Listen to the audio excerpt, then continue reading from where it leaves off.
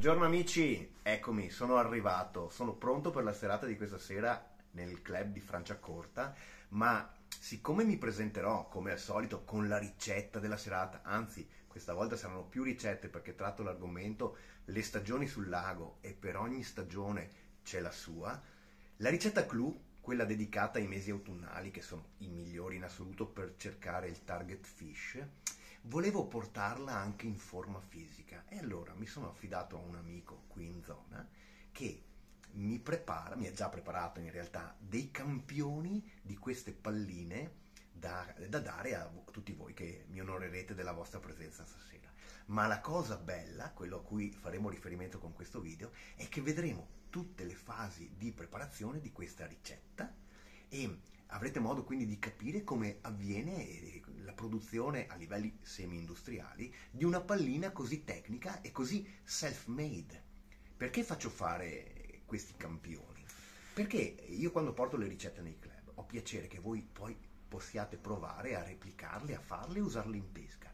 Ma è difficile fare una boyless eh, avendo solo la ricetta scritta. Se uno ha in mano qualche pallina di riferimento per saggiarne la consistenza, la granulometria, la fragranza, è molto più semplice. Come dire, ho un campione da cui eh, trarre qualche indicazione in più e da cui eh, capire bene se il mio risultato arriva al livello desiderato.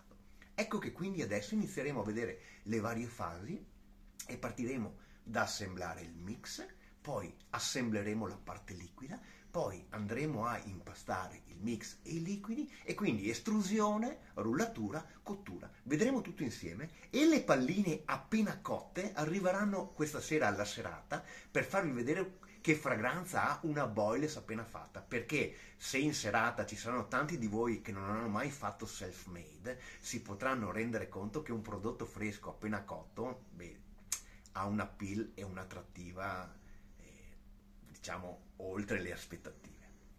Quindi adesso entreremo nelle fasi produttive e ehm, approfitto già eh, per ringraziare l'amico Matteo di Bait Selection perché eh, fa da sponsor a questo evento, nel senso che gli, i campioni che porterò sono gentilmente offerti da lui e per questo lo ringrazio. Partiamo! Ecco, stiamo pesando gli ingredienti per poi andarli a miscelare. Ingredienti li trovate indicati ovviamente nella ricetta che sarà allegata alle diapositive della serata. Abbiamo preparato tutti gli elementi della ricetta, ovviamente questa è una quantità basica che ci servirà per fare insomma, i campioni freschi da portare questa sera e adesso procediamo, vista la piccola quantità, a rimescolare manualmente.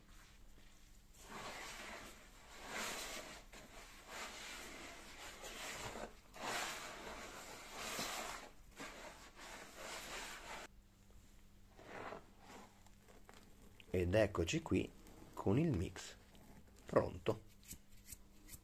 Passiamo ai liquidi.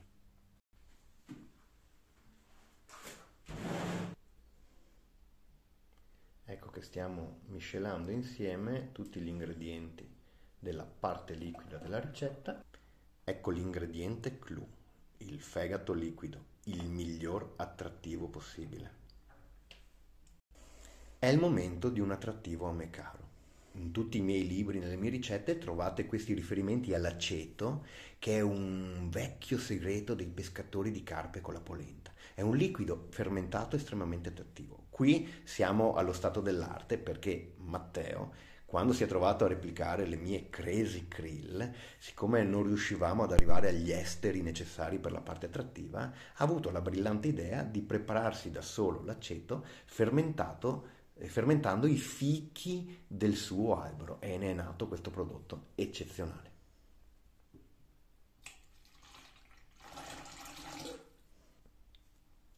Vitamina C per stabilizzare perché queste esche sono fatte per essere stabilizzate e messe in sacchetto.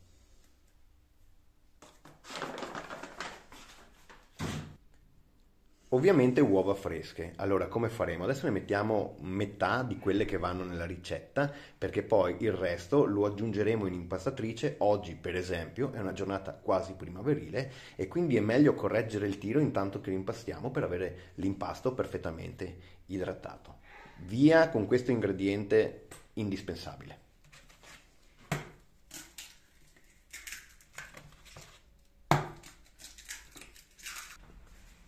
Quando si parla di boilers nella loro accezione classica del termine, si parla di palline che devono durare in acqua, non solubili. La solubilità è un'altra esigenza. Queste sono esche autunnali da grande lago, non si devono sciogliere, devono essere attrattive, nutrienti e durare anche una notte o più notti sul rig, quindi l'uovo è indispensabile e non si può sacrificare.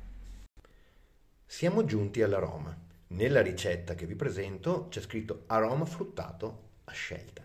Qui siamo con un produttore e quindi abbiamo degli ingredienti sofisticati. In questo caso andiamo ad inserire degli esteri della frutta, sono ricavati soprattutto dalla frutta rossa e sono un attrattivo eccezionale per le acque pulite dove, come quelle dove andremo a interagire, cioè le acque di un grande lago.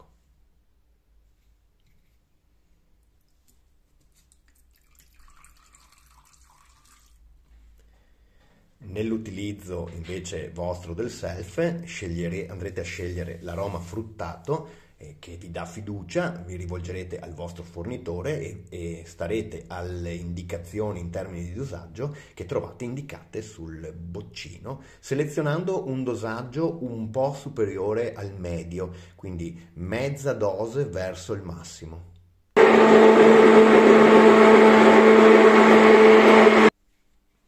Mettiamo la parte solida nella planetaria. Ora, se si dispone di un attrezzo di questo genere, non è nemmeno necessario andare a miscelare le farine come abbiamo fatto prima a mano, perché basterebbe mettere i vari ingredienti appena pesati, far andare la planetaria nel frattempo e vengono mescolati a sufficienza.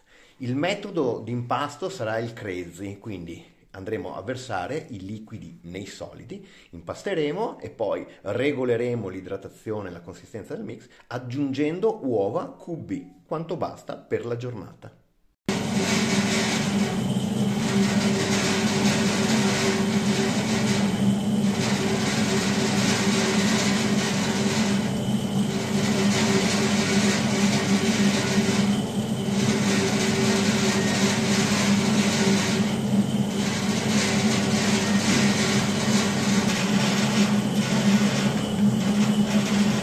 Siamo quasi. Dovremmo esserci. Adesso ovviamente Matteo controlla la consistenza manuale perché questo è il sistema. Sì, bene, non si appiccica il guanto. Direi che ci siamo.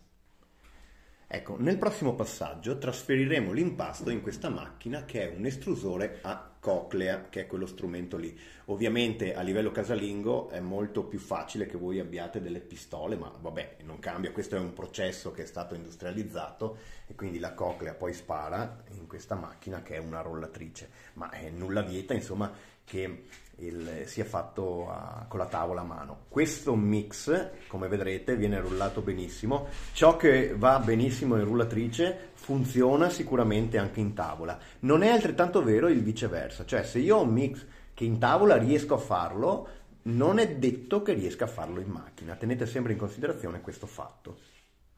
E allora pronti, trasferiamo l'impasto nella tramoggia con la coclea.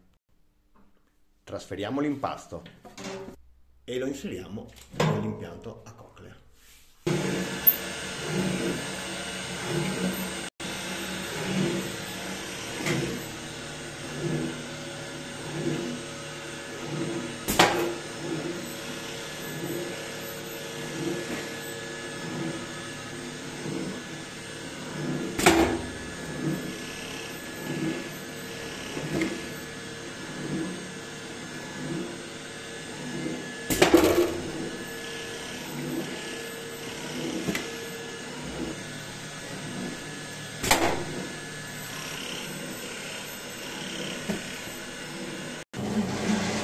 Ecco svuotato il nostro impianto a coclea. Pronti per le prossime lavorazioni. Ecco prima di passare alle altre fasi volevo ricordarvi in ambito casalingo di pulire sempre bene con dei disinfettanti forti tipo l'alcol etilico oppure vabbè anche la varicchina tutti gli attrezzi perché la contaminazione poi vi dà delle esche più difficili da conservare. Quindi pulizia degli attrezzi sempre. Oggi questa non ve lo faremo vedere ma qua viene tutto disinfettato con detergenti industriali insomma. Eccole qua. E siamo pronti per andare in cottura. Cottura ovviamente a vapore. Nulla vieta di bollire eh se, se, andate sul blog trovate un bel post, un bel articolo sulla cottura delle boili che vi presenta tutte le possibili cotture, ma una pallina così tecnica, con questi ingredienti così nobili, cotta per ebollizione perderebbe gran parte dell'attrattività nell'acqua di cottura e quindi queste palline vanno cotte preferibilmente a vapore. Ci apprestiamo alla cottura, queste sono palline del 18 e per questo tipo di cottura a vapore saranno necessari fra i 7 e i 10 minuti e molto ovviamente dipende dal quantitativo che andremo a inserire dentro nella vaporiera e giustamente dalla produzione di vapore della vaporiera stessa. Occhio a non salire troppo con le temperature lasciando magari a pressione la vaporiera e quindi creando l'effetto pentola a pressione perché se andiamo sopra i 100 gradi ci potrebbero essere degli elementi instabili nel biscò che potrebbero far gonfiare quest'esca alleggerendola un po'. Essendoci dentro anche il krill che non è notoriamente un ingrediente troppo pesante, stiamo un attimo attenti. Le dobbiamo usare in lago, eh, quindi non abbiamo bisogno di pesi specifici da fiume, però è certamente da non sottovalutare. Eccoci pronti, vapore in produzione, si introducono i cestelli, si chiude e da qui parte il timer. Ecco le palline cotte, belle calde ancora. Ovviamente queste le, portere, le porterò fra un'ora alla serata, ma i campioni, come potete immaginare, sono già stati preparati un paio di giorni fa e confezionati perché ricordate che le palline per quanto stabilizzate non possono essere insacchettate appena cotte, bisogna lasciarle asciugare almeno un giorno o due. Eccole qua, pronte, ci vediamo fra circa due ore al Bar Eleven di Torbiato, sarà una gran serata sui laghi e ci saranno anche palline per tutti voi e palline fresche da eh, toccare, annusare e guardare. Vi aspetto!